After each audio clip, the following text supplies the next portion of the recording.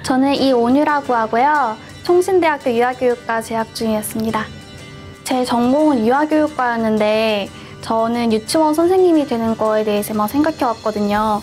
근데 미국에서 카운슬링이 되게 보편적인 것을 보고 이제 특수 유아에 대한 관심이 많은 것을 보고 저도 특수 유아에 대한 음악 치료사가 되기로 결심했습니다. 저는 한국에 있을 때 신앙적인 부분에 있어서 되게 힘들어 하던 학생이었는데요. 여기 와서 기독교인 친구들하고 살면서 항상 기도하고 서로 신앙적인 부분에 대해서 상담해주면서 저 자신이 되게 신앙적으로 많이 자란 것 같아요.